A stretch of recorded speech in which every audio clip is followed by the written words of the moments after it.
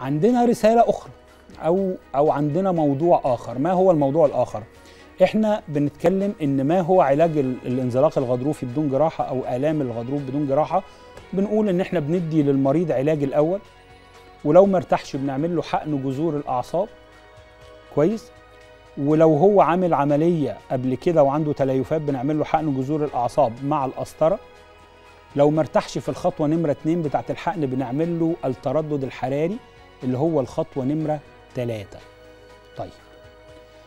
وقلنا قبل كده إن إحنا لما بندي للمريض العلاج كده كويس المريض 40% من الناس بيرتاحوا.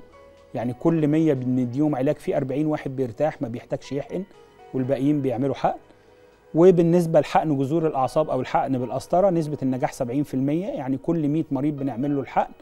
70 بيرتاحوا 30 ما بيرتاحوش وإحنا ما بنبقاش عارفين مسبقا مين 70 ومين في ال 30 اللي ما بيرتاحش بنعمل له تردد حراري 90% بيرتاحوا و10% ما بيرتاحوش. جميل جدا. ابتدى زي ما أنتوا بتشوفوا الحلقات بتاعت التلفزيون أنتوا دلوقتي بتتفرجوا وعندكم وعي وعمالين بنقول معلومات في دكاترة من الناحية التانية بيتفرجوا على الحلقات دي. بيتفرج على الحلقات ليه؟ والله يا إما بحسن نية يعني في كلام كويس اتقال فهو هياخده ويقوله للمرضى بتوعه وده راجل محترم ورجل مشكور وكل حاجة أو بيتفرج على الحلقات علشان يشوف هو الراجل ده بيعمل إيه والناس بتتفرج عليه ليه ومقتنعين بكلامه ليه فنبتدي إحنا كمان نركب الموجة اللي هو بيقولها إذا كانت دي موجة. فابتدينا نشوف حاجات المرضى اللي بيقولوها لي. أنا كل المعلومات اللي بقولها لكم دي المرضى بيجوا العيادة يحكوا لي كل البلاوي اللي بتحصل. فيجي العلاج إحنا بندي علاج التهاب الأعصاب يبتدي هو يمسك النقطة دي ويقول له إيه ويديله مسكن أو كورتيزون أو حاجة زي كده. لا يا فندم المسكن والكورتيزون ليس علاج ولكنها أشياء مضرة. يبقى دي الخطوة الأولانية. لما حد يدلس عليك خطوة العلاج اللي أنا بقولها فهو العلاج اللي أنا قصدي عليه ليس المسكنات ولا الكورتيزون. نيجي للحقن بقى. تمام؟ إحنا بنتكلم إن إحنا بنعمل حقن جذور الأعصاب. صح كده؟ تبص تلاقيه هو إيه؟ يقول له إيه؟ تعالى أما أديك حقنه في ظهرك. فيديله حقنة كورتيزون في ظهره في العيادة. فابتدى المرضى أذكياء يتفرجوا على الحلقات وفاهمين القصة دي. فيقوموا رايحين للدكتور يقول له لا أنا هاخد حقنة في العيادة. ده الدكتور محمد يسري بيعمل الحقن في المستشفى. ما هو المريض مش عارف يا عيني المريض مسكين عايز ال ال ال الحاجة الصح دي. يقوم الدكتور يقول له إيه؟ يا سلام أنت جيت في جمل تعالى أما أديك الحقنة في المستشفى بس هتدفع أكتر. فيقوم واخده على المستشفى يديله حقنة الكورتيزون في ظهره بس في المستشفى.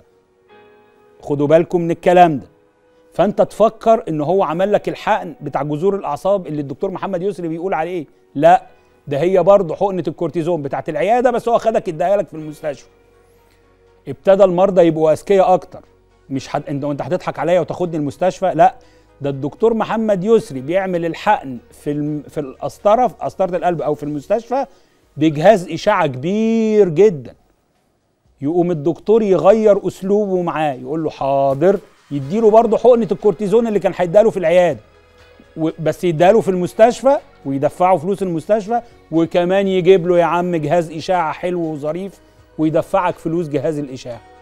حلو كده أنت مبسوط؟ أديني عملت لك الحقن. هي هي برضو حقنة الكورتيزون أو حقنة ال- ال epidural تمام؟ أو حقنة ال epidural.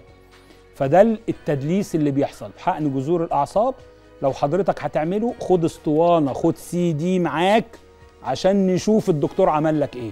ما إحنا مش عارفين نسلك معاهم. يعني نقول لك الحقن في المستشفى يودوك مستشفى ويديك برضه حقنة الكورتيزون في ظهرك. نقول له الحقن في ال- بجهاز أشعة يجيب لك جهاز أشعة اللي أنت عايزه. طب إحنا بقى عايزين يا دكتور سي دي اسطوانة تورينا أنت حقنت إيه بالظبط. حقنتني epidural بالكورتيزون أو حقنة الظهر ولا حقنتني جذور أعصاب؟ ده المهم جدا. نيجي للمرحلة الثانية التردد الحراري. طبعا التردد الحراري ده جهاز وفي المستشفى وفيديوهات. تبص تلاقي دكتور عجبته موضوع التردد الحراري. فهو نازل يشتري حاجات للعيادة كده يلاقي جهاز بيعمل بتقنية التردد الحراري.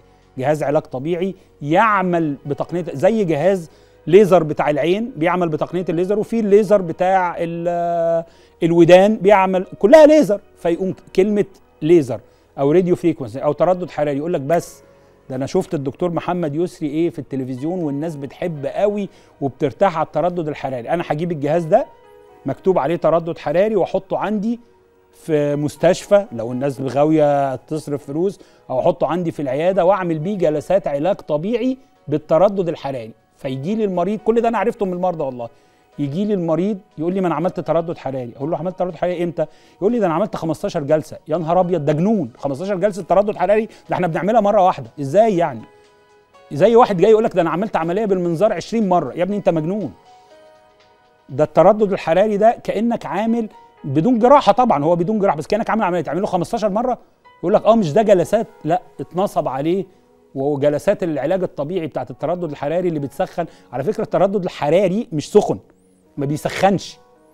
التردد الحراري ما بيسخنش فهم بيجيبوا له جهاز بيجيبوا له جهاز علاج طبيعي بيسخن ويقولوا له ده التردد الحراري. أتمنى إن الرسالة دي تكون وصلت. آه، إحنا الوقت مر بينا بسرعة.